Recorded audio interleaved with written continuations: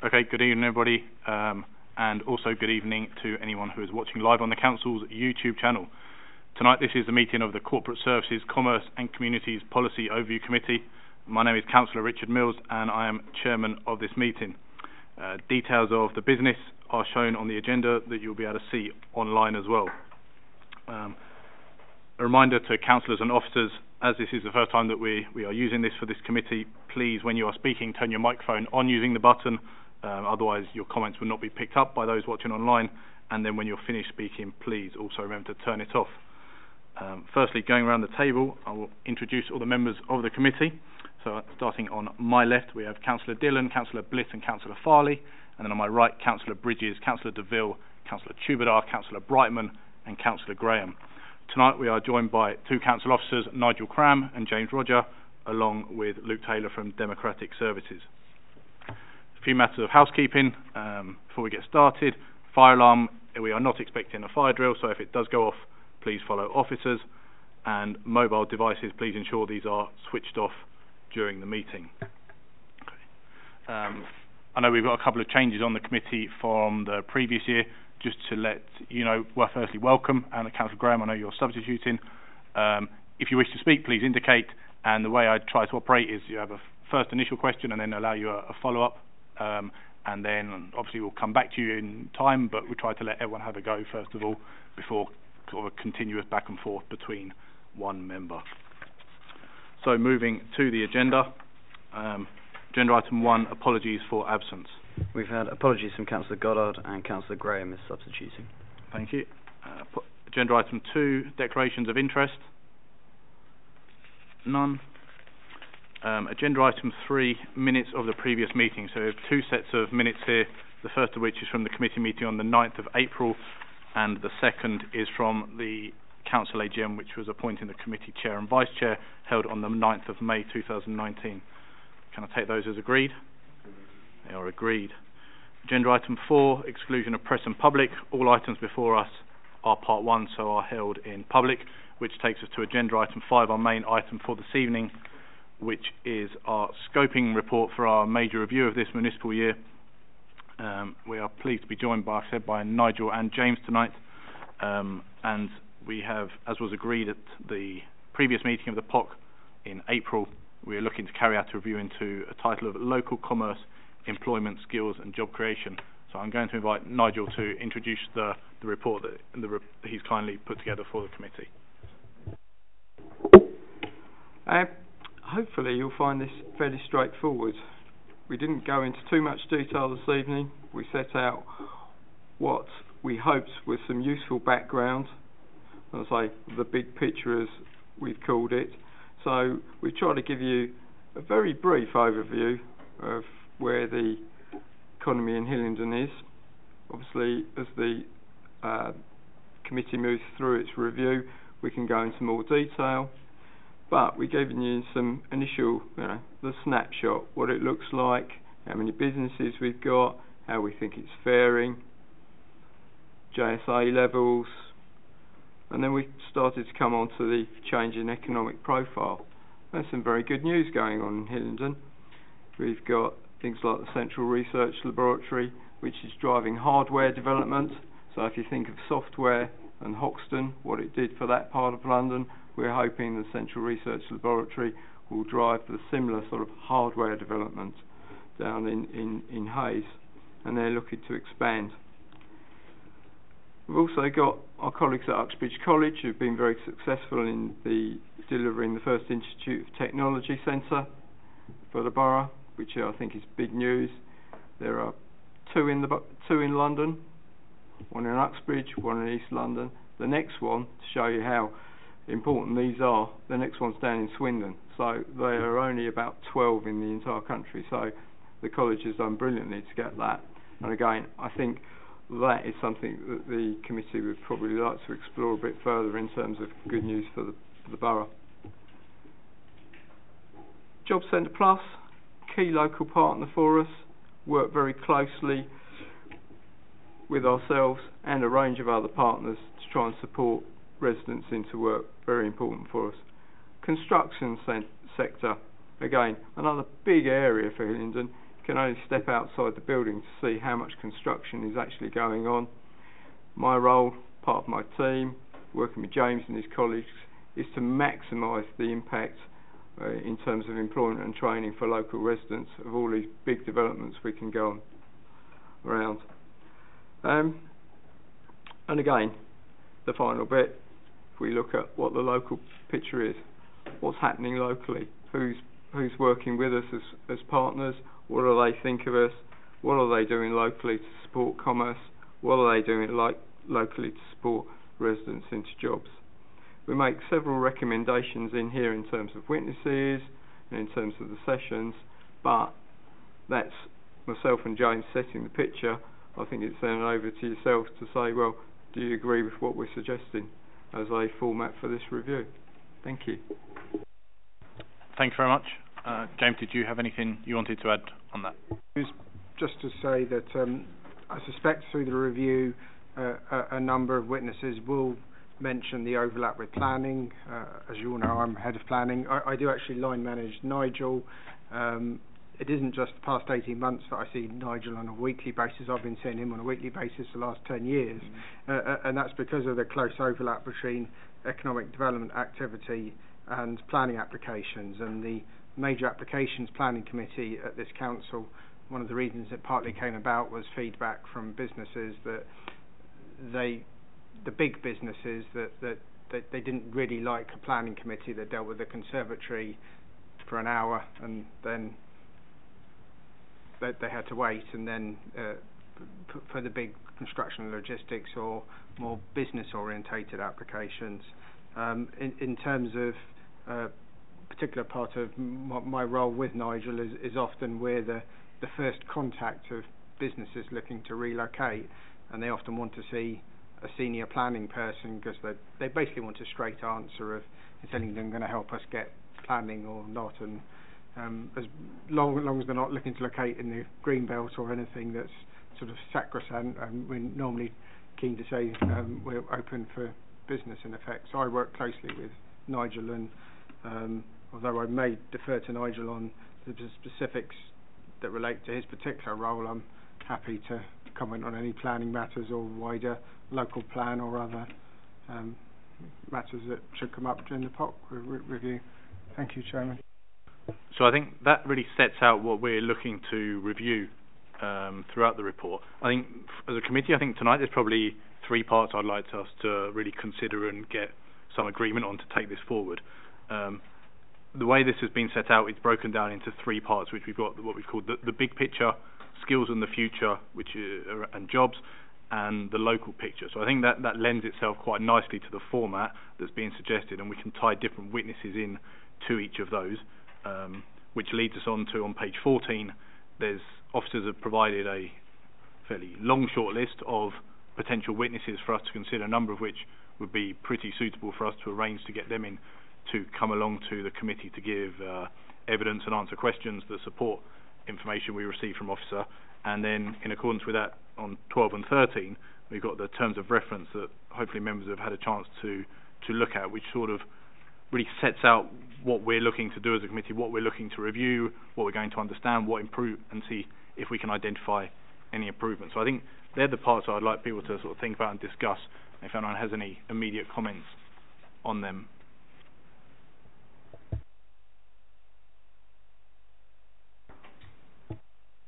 Councillor Dhillon. Thank you, Chairman. Um, I wouldn't mind seeing a witness uh, in our witness sessions. Um, someone like the is it the Hayes Partnerships uh, business partnership, uh, so that we can look at uh, SMEs and uh, how they are coping, what we are doing to encourage uh, small businesses, because obviously the large the, the large firms are coming in, but uh, as my colleague here Scott mentioned earlier in a, a meeting previously. we, small businesses also employ a lot of people, and um, within our town centres are quite important, and Okay, so we're in where we've got witness session three, we're calling the local picture. Do you think they is that the Hayes Town partnership? Yeah. So we could approach them to be a potential witness in that, along with like a chamber of commerce or something like. that. Okay, yeah. Councillor Graham. Yes, thank you, Chairman. Um, it, it concerns me that, that um, um, from what I see in a lot of places, um, businesses are closing, and I, I imagine to some extent it might be because of the uh, amount of business rates that they're being asked to pay as much as anything else. Uh, in addition to that, um, uh, I'm aware also that there are quite a few, from what I gather, large uh, office developments where they are standing for a large part empty, and I wonder what incentives there may be to uh, uh, um, persuade people to go into those, and um, a marginal business rate as opposed to a, a heavier one might might add to that uh, incentive. Thank you. Okay. On that, if I, Nigel, is that something you think we would be able to pick up under the first one around the, sort of the bigger picture, as in the wider economy, how business rates are charged and what sort of the inflows of businesses are, the closure rates, those sort of things? Would that be statistics that we'd have under that part? Do you think? Uh, thank you, Chairman. Uh, we we can definitely look at the the latest statistics. Business startups and, and closures are are tricky because some of the information that you're looking at tends to be for very small businesses, whereas I think what Councillor Graham is talking about about some of the the, the larger um, office blocks that we've got in the borough, which sometimes aren't as full as they could be.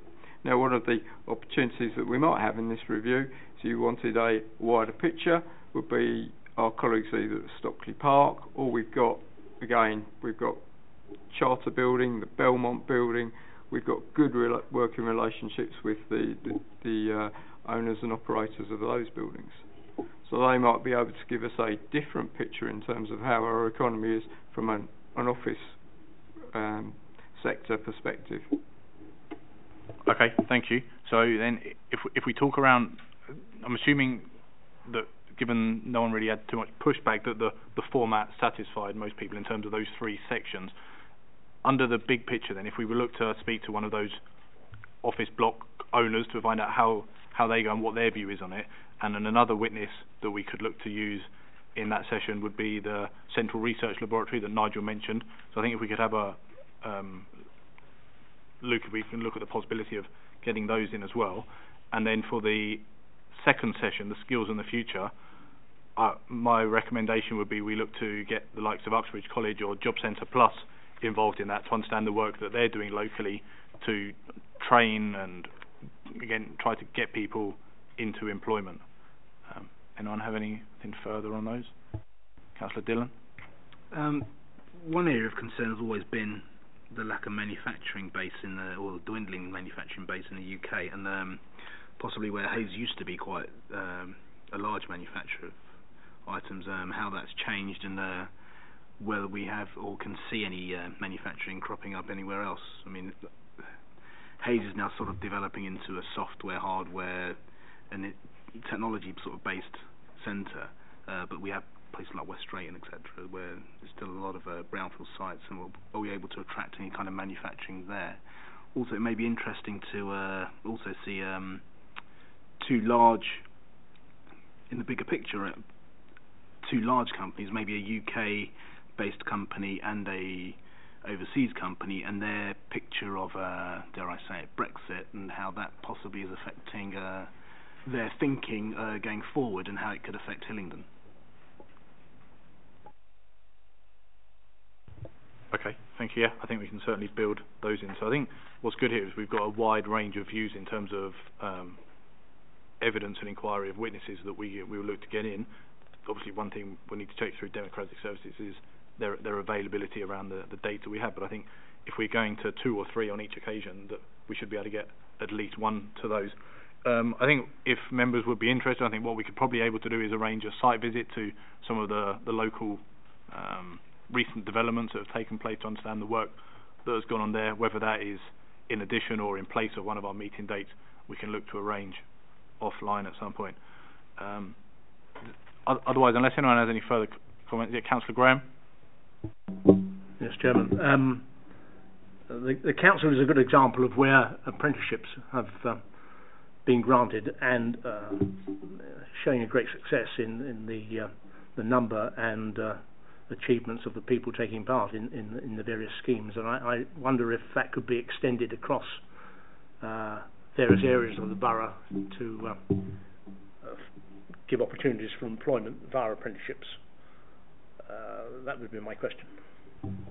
Yeah, I think that's valid. And I think across when we do these sessions in detail, um, I would expect within sessions two and three, so skills in the future, which is probably where apprenticeships come in, and then following that, the third session where we talk around the local picture, how we actually then utilising those skilled and trained people that we've we've invested in, how we then progressing them through to employment in the local area. Councillor Farley. Thank you, Chairman. Um, on the um, statistics on the startups, is there anything that gives any information about the sort of the turnover of those in terms of what portion of them closed and what areas they're in? Um, so these startups across the borough, where the, where the startups were and the size of the businesses, so how they fit in with, you know, the, the employee size or small medium businesses. Thank you. Nigel, is that something you can take in terms of how how they are categorised and the, the figures yes, around them? Yes, we we can come back with a lot more information on startups and business failures. The majority of them tend to be small, so unless you're getting companies relocating into the into the borough, they will be very very micro businesses to start with. Um, but yes, we can definitely provide that information, which gives a spread the types of businesses and the you know, the the, and then also the, the, the failure rate as well. So you can do some comparisons. Yeah, we can we can provide you some statistics and commentary on that. Okay, so then I think if everyone's happy with that, we can agree that that's this will be our, our review we'll undertake, and people are happy with the format and the witnesses suggested, and we will look to get as many of those in as we can to our meetings. Is that agreed? Okay. Thank you. Uh, gentlemen, you can stay if you wish to, or you are free to leave. Thank you. Thank you. Um, carry on with agenda item six, so, which is the forward plan. Just to mention to members who have been on the committee previously and probably in previous municipal year to that, this coming Thursday at the June Cabinet, our committee's review into um, lesbian, gay, homophobic, transphobic bullying is coming before cabinet with the recommendations that we uh, we came up with, all suggested for approval. So, if you are able to watch that or at least follow follow that, then read the papers. That would be good because that was something that came from this committee. Um, further to add, the previous committee has maybe stated the obvious from the introductions. Our previous review into the broadcasting was approved and is obviously now being enacted across the committees with the potential view to be extended to petition hearings as well. Um, so the yes, the the forward plan here, Councillor Dhillon. Yeah. Just for the record, um, it's a great report that um, uh, the homophobic report. Um, I think it's congratulations to everybody who input on it, and um, I hope the cabinet accepts it, and um, every little point on that is accepted by the cabinet. Good, thank you. So then, taking the forward plan, the cabinet meeting on Thursday is obviously highlighted in here, along with decisions expected, and we see. Um, July cabinet, a few items there, and then jumping ahead to December. Councillor Dhillon. Yeah, and we quite often don't are able, well, there's not a lot of time between uh, our committee meetings and a cabinet. So just for one, if Luke, you can come back to me on something, um, if possible. Just like to ask a question about our uh, spend on social services. We seem to be spending a lot of money on uh, temporary staff.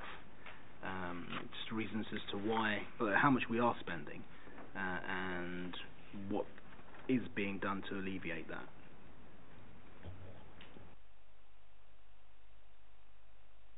Okay. Otherwise than that, we, we note the, happy to note the forward plan.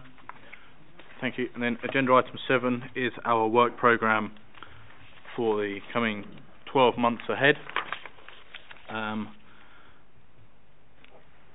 as mentioned, so tonight we have the, obviously we went through the scoping report. The next few sessions for the next four or five are going to be focused around that with witness sessions uh, built in. As I mentioned, if we looked, if we are able to carry out a site visit in relation to this, we may look to do that on one of the, the meeting nights uh, rather than create another day which may not be suitable for everybody and effectively just move everything along a month or two depending on how that goes.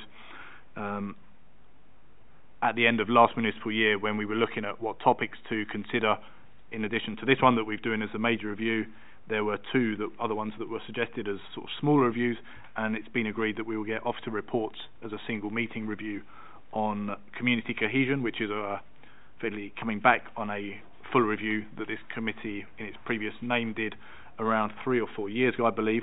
So that would be good to get that one to see what progress has been made and how the recommendations that were incorporated from that have been um, affected and how they've been used going forward.